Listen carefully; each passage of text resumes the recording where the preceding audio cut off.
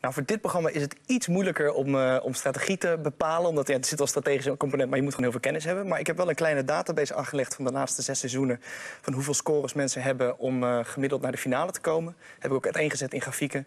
Ehm, en ja, ook de betrekkelijkheid van de gevarenzone viel mij vooral op. Ik ging turven hoe vaak mensen dan in de finale, hoeveel antwoorden ze goed hebben. En jij hebt het altijd over, ja, vijf antwoorden zit je in de gevarenzone.